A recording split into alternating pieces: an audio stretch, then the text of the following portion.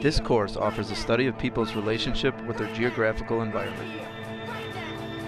Emphasis is placed on how people work to develop the geographic factors in their environment. Get ready to take an in-depth look around the world at our seven continents.